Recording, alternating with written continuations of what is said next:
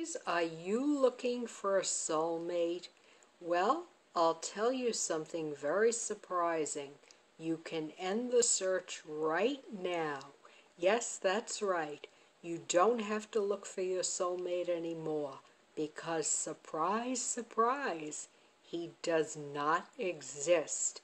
Yes, that's right. He only exists in your mind as a fantasy.